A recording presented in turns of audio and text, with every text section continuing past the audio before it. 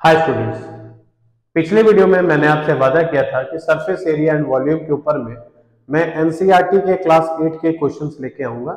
सो मैं उसको लेके आज हाजिर हूँ।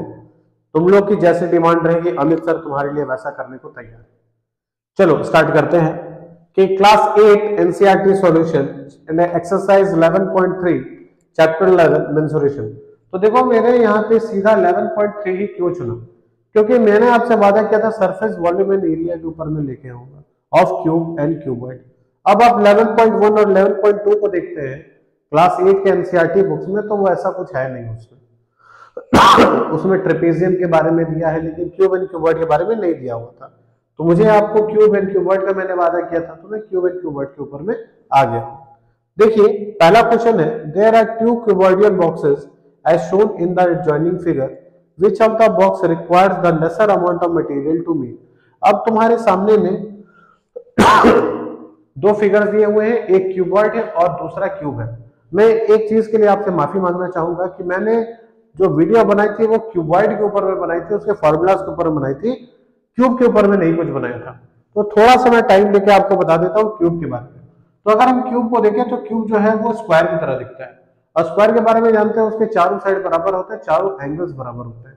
तो जिस तरह से मैंने ये फॉर्मूला बनाया था उसी तरह से देखिए कि अगर मैं इसका एक नेमिंग कर देता हूँ इसको नाम दे देता हूँ ए इसका नाम दे देता हूँ बी इसका नाम दे देता हूँ सी इसका नाम दे देता हूँ D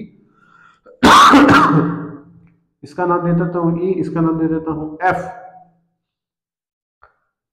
sorry sorry sorry sorry इसका नाम दे देता हूँ ए इसका नाम दे देता हूँ बी इसका नाम देता हूँ सी इसका नाम दे देता हूँ डी इसका नाम दे दिया ई एफ़ जी और एच तो यहाँ पे क्या है कि हमारा लेंथ भी बराबर है ब्रेथ भी बराबर है और हाइट भी बराबर है। तो देखिए कि अगर हम सबको जोड़ते थे तो एल इंटू बी किया, फिर बी इंटू एच किया, फिर एच इंटू एल किया। ये पिछले वीडियो में मैंने आपको फॉर्मूलाज वाले में बताया है। अब यहाँ पे देखते हैं क्या कि हम सबको जोड़ेंगे तो क्या होगा? L into L into L into L into L six times L आएगा। ठीक है तो हम क्या करें? सिक्स इंटू एल स्क्वायर कर दिया चलिए इस क्वेश्चन पे आते हैं। तो ये क्वेश्चन हमारा क्या कह रहा है कि आपके पास दो क्यूबॉइडल बॉक्सेस हैं फिगर्स में दिए हुए अब आपको बताना है कि किसमें कम मटेरियल लगेगा बनाने में।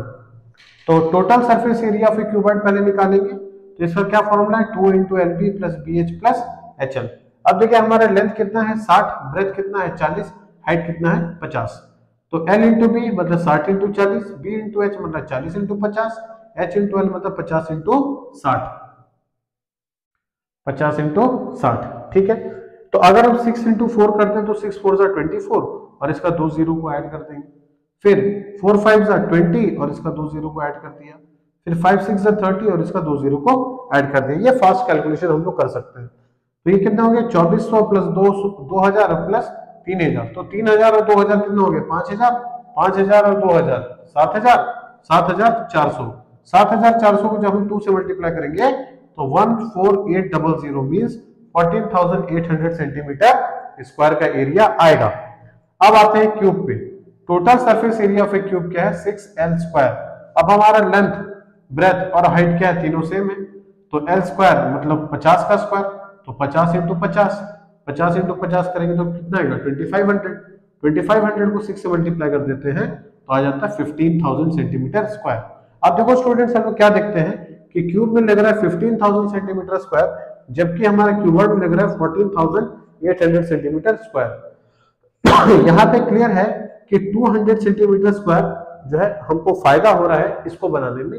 तो cuboidal box A will require less amount of material अब आते हैं हम लोग सेकंड क्वेश्चन चलो अब हम आते हैं अपने सेकंड एग्जांपल सेकंड क्वेश्चन पे। A suitcase which measures 80 centimeter into 48 centimeter into 24 centimeter is to be covered with a tarpaulin cloth how many meters of width 96 centimeter is required to cover 100 such suitcases देखो students यहाँ question क्या कह रहा है एक suitcase है आपके पास जिसकी लंबाई है 80 सेंटीमीटर चौड़ाई 48 सेंटीमीटर और हाइट जो है वो 24 सेंटीमीटर के पास में इसको हम एक तारपोलिन के कपड़े से कवर करेंगे, जिसकी विड्थ जो है वो 96 सेंटीमीटर है।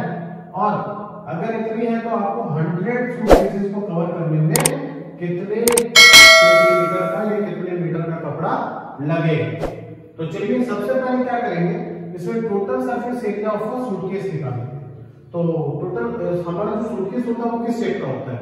क्यूबॉइड शेप का होता है? तो क्यूबॉइड का हम टोटल सरफेस एरिया का फॉर्मूला क्या है? 2 into L B plus B H plus H L ये हम फॉर्मूला को लगाएँगे। तो यहाँ पे एल जो है हमारा 80 है ब्रेथ हमारा 48 है और हाइट जो है हमारा 24 है। तो हम लगाते हैं तो 2 into eighty into forty eight plus forty eight into twenty four plus twenty four into eighty तो एटी इंटू फोर्टी करते हैं तो three eight four zero forty eight four करते हैं तो वन वन फाइव टू और ट्वेंटी फोर इंटू एट्टी करते हैं तो वन नाइन टू ज़ीरो की ये आएगा अब हम तीनों को ऐड कर देते हैं। ऐड करने के बाद जब टू से मल्टीप्लाई करेंगे तो ये one three eight two four centimetre square आएगा तो ये क्या होगा ये एक सूटकेस का टोटल सरफेस एरिया है। तो हंड्रेड सूटकेसेस का क्या होगा? तो वन थ्री एट फोर को हम क्या करेंगे? हंड्रेड से मल्टीप्लाई कर देंगे तो ये अराउंड आ जाएगा हमारा one thirty eight two four double zero centimetre square अब आते हैं कि टारपोलिन का कपड़ा कितना ज़रूरत होगा। लिखेंगे रिक्वायर्ड टारपोलिन टारपोलिन कैसा होता है? रेक्टेंगल शेप का होगा तो लेंथ इनटू ब्रेथ अब रिक्वायर्ड टारपोलिन कितना चाहिए 100 फुट पीसेस को कवर करने के लिए? इतना तो हम इसके लिए अब लिखेंगे 1382400 equals to length into breadth हमारे पास ब्रेथ दिया हुआ है ब्रेथ को क्या करेंगे? L इनटू 96 कर देंगे। अब यहाँ पे हमको l निकालना है तो 96 से क्या करेंगे? 1382400 को डिवाइड कर देंगे।